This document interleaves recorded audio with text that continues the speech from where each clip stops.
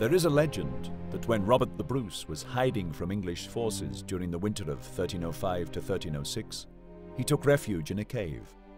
The Scots had been badly defeated at the Battle of Falkirk.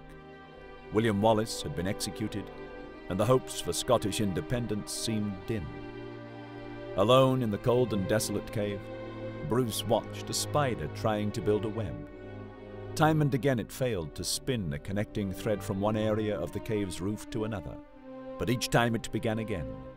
Bruce determined that if the spider succeeded on its next attempt, he would return to Scotland and take up arms again in the fight for freedom. The spider did succeed, and Bruce went back to Scotland and victory at the decisive Battle of Bannockburn. Some claim that Bruce's cave is on the island of Rathlin, off the coast of what is now Northern Ireland. The story appeared for the first time in Walter Scott's Tales of a Grandfather, and it may not be true, but it has remained a potent illustration of Bruce's persistence against adversity and defeat to achieve freedom for his country.